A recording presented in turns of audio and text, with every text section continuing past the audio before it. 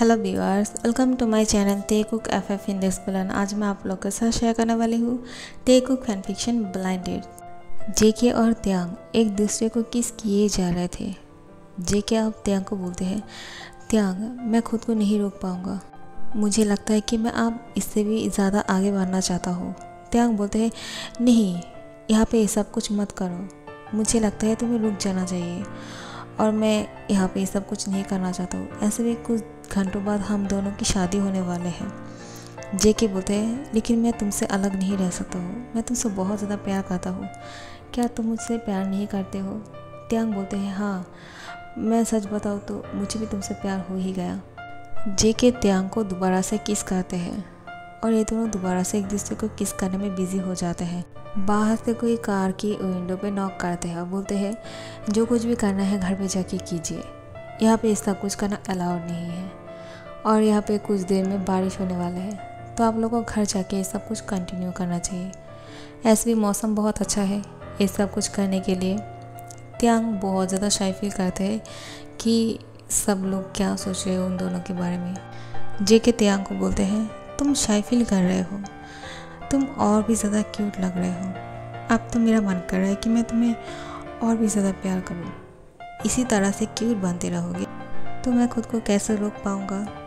त्यांग मुस्कुराता है और बोलता है, तुम्हारा ध्यान कहाँ है? अच्छी तरह से कार चलाओ, ठीक है? जे के बोलते हैं, मेरा सारा ध्यान तो तुम्हारी तरफ़ है। अब क्या करें? तुम हो ही इतना ब्यूटीफुल कि तुम्हें देखे बिना रहा नहीं जाता है। ठीक है आप तुम्हारी बातों से मुझे मत उलझाओ, क्योंकि आप मुझे इतनी जल्दी नहीं मारना है। अच्छी तरह से ट्रैप करो, ठीक है? जे के बोलते हैं, ऐसे बातें मत करो, क्योंकि मैं तुम्हें नहीं खो सकता हूँ, त्यांग। मैं तुम्हारे बिना नहीं रह सकता हूँ। मैं तुमसे बहुत बहुत ज़्यादा प्यार करता हूँ। त्यांग बोलते हैं, समझ गया, और फिर वो दोनों घर जाते हैं। अब जब त्यांग को वो छोड़ने के लिए उसके घर के सामने आते हैं तो जेके का मन नहीं कर रहा था त्यांग को छोड़ के जाने का। लेकिन त्यांग बोलते हैं, अब जाओ तुम यहाँ से। ऐसे भी हम दोनों की शादी कुछ ही घंटे बाद होने वाले हैं। तुम यहाँ से जाओ। जे के बोलते हैं, क्या तुम मुझे अंदर आने के लिए नहीं कहोगे? बाहर से मुझे निकाल दोगे क्या? त्यांग बोलते हैं, अब तुम्हें अंदर भी आना है।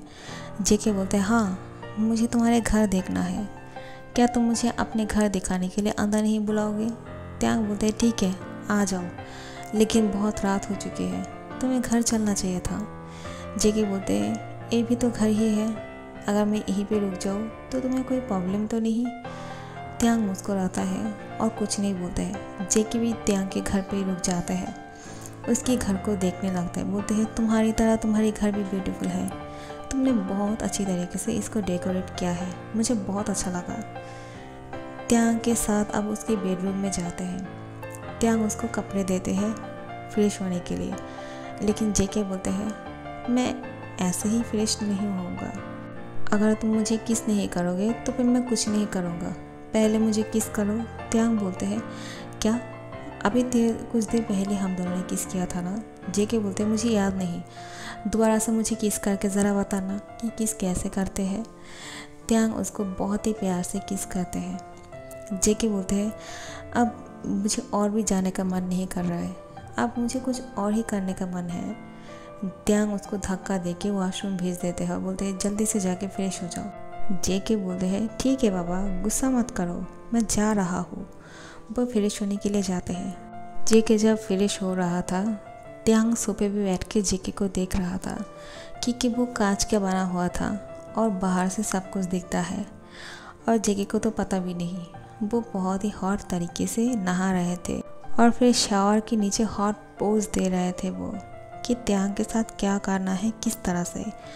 ये सब कुछ त्यांग बाहर से देख रहा था और शाय फील करते हैं और मुस्कुराता है कि जेके के दिमाग में कितना नोटी चीज़ चल रहे हैं। तो वो ऐसा सोच रहा है, जेके अब नहाने के बाद बाहर निकलते हैं। वो बाथरूम पहना हुआ था, उसकी शरीर से पानी की बूंद गिर रहे थे। त्यांग को ये सब कुछ देख के बहुत ज़्यादा हॉट फील होता है। लेकिन वो कुछ नहीं बोलते हैं। जे के बाहर आ जाने के बाद बोलते हैं, जाओ, अब तुम जाके फ्रेश हो जाओ। मेरा तो हो गया। अब जल्दी से जाके फ्रेश होके मेरे पास आ जाओ। त्यांग बोलते हैं, क्या मतलब? जे के बोलते हैं, कुछ नहीं। मैंने सिर्फ़ यही कहा है कि तुम्हें जाके फ्रेश हो जाना चाहिए। जाओ, जल्दी से जाके फ्रेश हो जाओ। त्यांग बोलते हैं, नहीं, मुझे नहीं फ्रेश होना है। जेके बोलते जाओ ना, ऐसा क्यों कर रहे हो? मुझे फ्रेश करने के लिए भेज दिया। तुम खुद नहीं फ्रेश होना चाहते हो। तुम बहुत गंदे हो। जाओ, जल्दी से जाके फ्रेश हो जाओ। और मेरे पास जल्दी से आ जाना, क्योंकि मैं तुम्हें मिस कर रहा हूँ।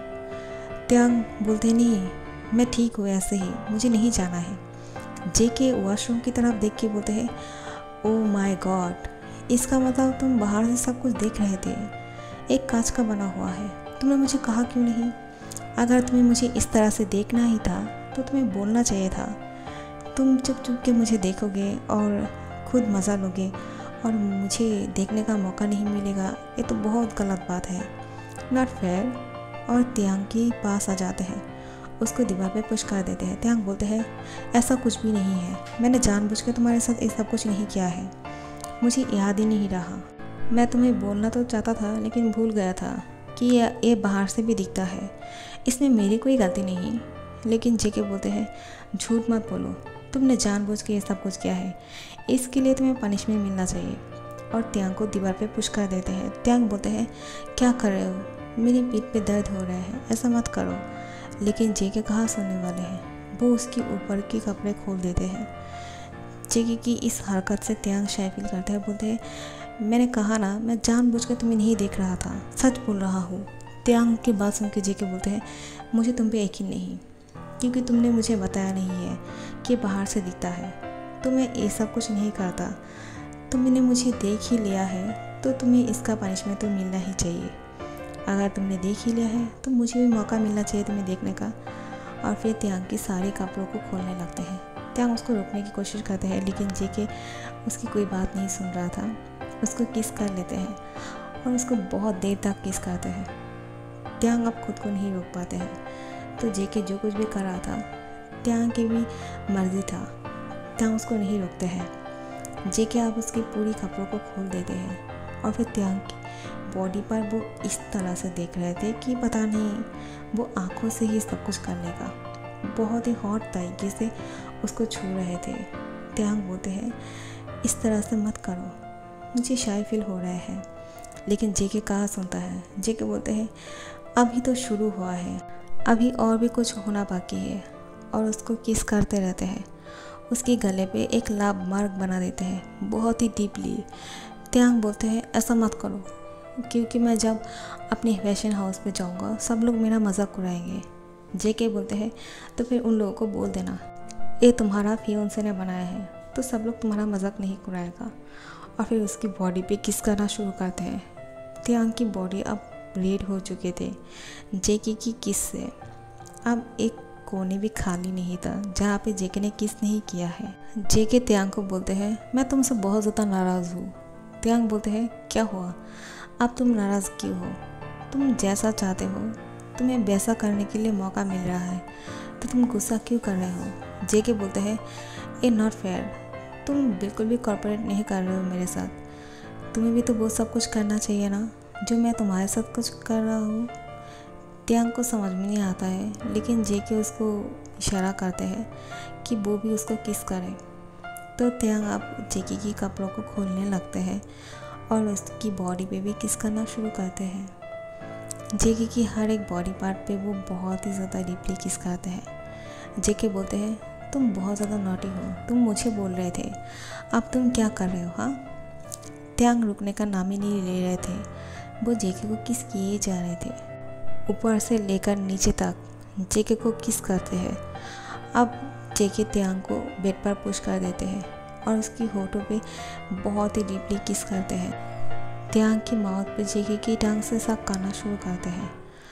अब ये दोनों के बीच में कोई भी गैप नहीं था। ये दोनों एक दूसरे के साथ ऐसे जुड़े हुए थे कि इन दोनों को कोई अलग नहीं कर सकते हैं। और यहाँ पे जिमिन और यूँगी वो लोग बहुत ज़्यादा खुश हैं।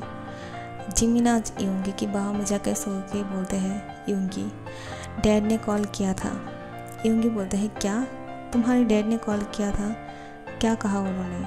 क्या वो गुस्सा कर रहे थे? तुमने फ़ोन क्यों उठाया है? अगर तुम्हें वो डांटा है तो मुझे बहुत बुरा लगेगा कि तुम्हें मेरी वजह से डांट पड़े हैं। जिमी बोलते हैं, ऐसा कुछ नहीं।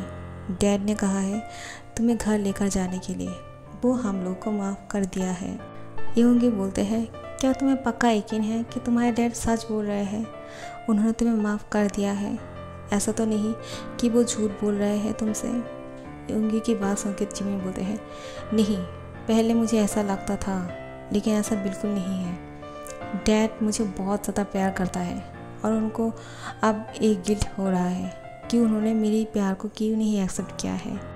अब हम दोनों को वापस जाने के लिए कहा है। तो हम दोनों को जाना होगा। योंगी बोलते हैं, ठीक है। हम लोग कल सुबह को ही निकल जाते हैं यहाँ से जिमिन खुश हो जाते हैं और योंगी की होठों पे किस करते हैं और बोलते हैं, मैं तुमसे बहुत ज़्यादा प्यार करता हूँ। डैड चाहे कुछ भी बोले। अगर वो हम दोनों की प्यार का एक्सेप्ट नहीं भी करता, फिर भी मैं तुम्हें कभी नहीं छोड़ता होगी, क्योंकि तुम मेरे लिए बहुत ज़्यादा खास हो। योंगी बोलते हैं, मैं जानता हूँ। लेकिन अगर तुम्हारी डैड ने सिर्फ़ हम लोगों को वहाँ पे बुलाने के लिए सब कुछ कहा तो? और फिर हम दोनों को एक्सेप्ट नहीं किया, हम दोनों के प्यार को? जिमी बोलते हैं ऐसा नहीं है, क्योंकि डैड कभी झूठ नहीं बोलते हैं। मैंने कभी भी उनको झूठ नहीं कहते हुए देखा है। अगर उनको हम दोनों के प्यार को एक्सेप्ट नहीं करना होता तो वो कभी हमें कॉल नहीं करते।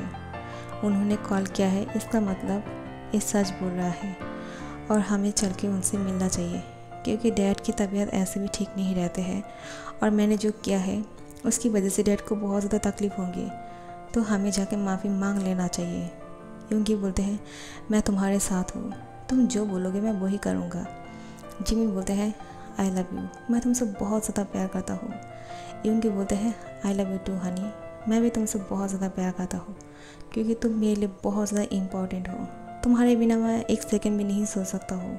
अगर तुम्हारे डैड मुझे पसंद नहीं भी करते हैं, फिर भी मैं यही कोशिश करूँगा कि तुम्हारे डैड की मैं पसंदीदा बन सकूँ और तुम्हारे डैड मुझे एक्सेप्ट कर ले। यूँगी बोलते हैं क्यों नहीं करेंगे, बिल्कुल करेंगे, ज़रूर करेंगे, क्योंकि वो हम दोनों को अलग नहीं रख सकते हैं और वो दोनों एक दूसरे का हक करके सो जाते हैं। सुबह हो जाने के बाद जेके का कॉल आते हैं, लेकिन वो फ़ोन नहीं उठा रहे थे। जेहोप उसको बार बार कॉल किए जा रहे थे। त्यांग बोलते हैं, तुम्हारा फ़ोन उठाओ। तुम्हें फ़ोन आ रहे हैं। जेके बोलते हैं, छोड़ो भी, मुझे कुछ नहीं उठाना है। मुझे सिर्फ़ तुम्हारे साथ रहना है। त्यांग बोलते हैं, मुझे भी जाना है। अगर तुम सोना चाहते हो तो सो सकते हो। मैं तैयार होके अपनी फ़ैशन हाउस जाने वाला हूँ। जेके बोलते हैं तो मैं घर पे रह के क्या करूँगा? त्यांग बोलते हैं, मैं इसलिए कह रहा हूँ कि तुम्हें उठ जाना चाहिए और अपने फ़ोन को उठाना चाहिए। जेके त्यांग की फोरहेड पे किस करते हैं और बोलते हैं बेबी तुम खुश तो हो ना? कहीं तुम मुझसे नाराज़ तो नहीं कि मैंने तुम्हारे साथ जो कुछ भी और फिर त्यांग उसको किस करके बोलते हैं? नहीं, मैं बिल्कुल भी नाराज़ नहीं। मैं भी तुमसे बहुत ज़्यादा प्यार करता हूँ और जो कुछ भी हुआ है, मेरी मर्ज़ी से ही हुआ है। मैं तुमसे बिल्कुल भी नाराज़ नहीं। लेकिन अब हम दोनों को ही काम पे जाना चाहिए। क्योंकि ऐसे भी हम दोनों की शादी होने वाले हैं। और जिमिन और योंगी भी वापस आ रहे हैं। जिमिन ने मुझे मैसेज कर दिया है। जेके को बहुत गुस्सा आता है कि तुम सिर्फ़ जिमी की बात क्यों करते हो? लेकिन क्या हुआ? तुम जिमी के बारे में सुन के इतना गुस्सा क्यों कर रहे हो? जेके बोलते हैं, मुझे तुम्हारे मुँह में किसी और का नाम नहीं सुनना है। मुझे बहुत ज़्यादा जेलस फील होता है। दोबारा से ये सब कुछ मत करना मेरे सामने, ठीक है? और किसी के साथ इतना ज़्यादा क्लोज होने की ज़रूरत नहीं हाँ। ठीक है, तुम्हारी सोलमेट शादी कर लिया है, लेकिन फिर भी तुम मुझसे दूर रहना, जितना हो सके, सब लोगों से। और तुम काम करना बंद कब करोगे? त्यांग बोलते क्या? मैं कम करना बंद क्यों करूँगा? ये मेरा सपना है। ये फ़ैशन हाउस को मैंने बहुत प्यार से इतनी दूर तक लेकर आया हूँ। इसको बंद करने के लिए नहीं जे के बोलते हैं, लेकिन तुम्हारी इस फ़ैशन हाउस के वजह से सारी लड़कियाँ तुम्हें घेर के रखते हैं। मुझे अच्छा नहीं लगता है। त्यांग ये बात सुन के बहुत ज़्यादा परेशानी में आ जाता है कि जेके क्या बोल रहा है। क्या जॉन कुक मुझे लेकर बहुत ज़्यादा ऑफ़िस है? लेकिन अगर ऐसा है तो ये तो बहुत गलत बात है। तो तो वो मुझे किसी के साथ बात करने में भी नहीं देंगे। और मेरे फ़ैशन हाउस पे कितने लोग आते हैं। सब लोग मेरे साथ इतने अच्छे से बात करते हैं, इतना क्लोज आते हैं। त्यांग जेके को कुछ बोलने वाले थे कि जेके की दोबारा से कॉल आते हैं, जेके फ़ोन को रिसीव करते हैं और जेहो को बोलते हैं, क्या हुआ? इतना सुबह सुबह मुझे कॉल करके डिस्टर्ब क्यों कर रहे हो? जेहू बोलते हैं नवाबजादे अगर हो गए हो तो जल्दी से ऑफ़िस आ जाओ, क्योंकि दादाजी बहुत गुस्सा कर रहे हैं। तुम अभी तक ऑफ़िस क्यों नहीं आए? जे के बोलते हैं, ठीक है, आ रहा हूँ, लेकिन क्या हुआ?